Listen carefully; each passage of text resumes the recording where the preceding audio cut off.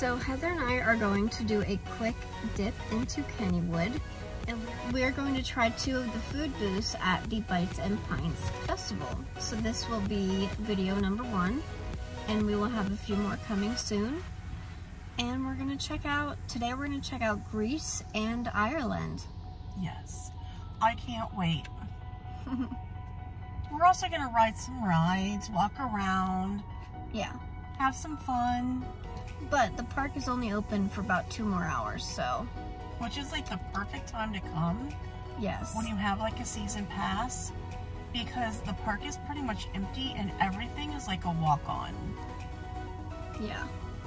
Alright, so let's go check out um, Greece and Ireland. We'll see you soon. Woohoo! Bye. We'll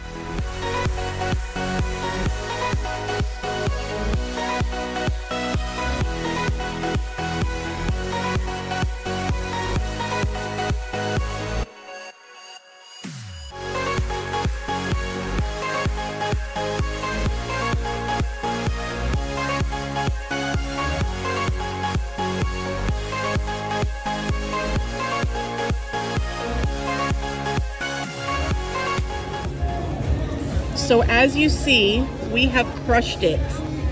Jackie gives it a four out of five. I give it a five out of five. The meat was juicy was and soft. very soft. Yes, the pita was very soft. I only wish there was more sauce on it. But as you can see, we had no problem finishing it.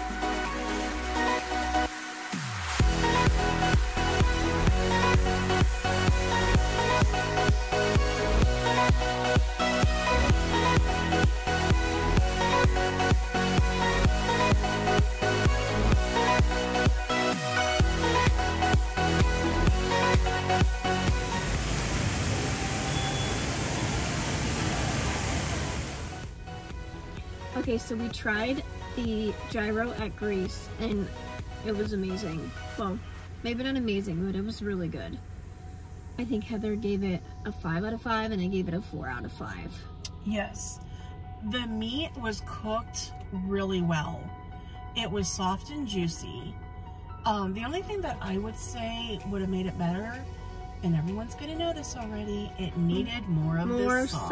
sauce. And the sauce was really good. It just needed to have more on it. But the pita was really soft. Mhm. It was really good. And like it was hefty. Like they put a lot on there. I was I was shocked. Yes, overall it was very good. Very good. So then we went to the Ireland booth and we got the corned beef slider. The bread was too hard for me and I didn't love, there was like a spicy brown kind of mustard mixed in with the Swiss cheese. But the meat was pretty good, but I think overall I only gave it like a two or something. What did you think, honey? I actually really liked it. Um, I thought the spicy mustard was actually pretty good. Um, I wish there was more of that and less of the melty Swiss cheese. Oh, really? Yeah, I would have really liked to have more of that mustardy flavor. flavor. Um, the meat again was cooked really, you just don't like that type of meat, which I actually don't either, but the meat was actually cooked really well. Mm-hmm. And the bread that was on, it was really good. Um, did you like that little pickle that was on top? That little bumpy pickle? Oh, there was like a, yeah, there was like a little pickle on the top. It was pretty good, but it They was like, name, I don't remember the name.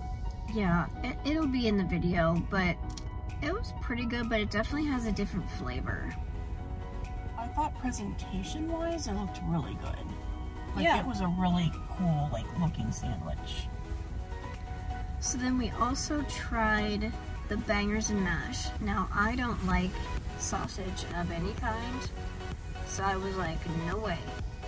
But Heather loves a good like hot sausage or breakfast sausage, right? Yeah. So what did you think of the sausage? The sausage was pretty good. Um, you could tell that it was cooked really well. It was very soft.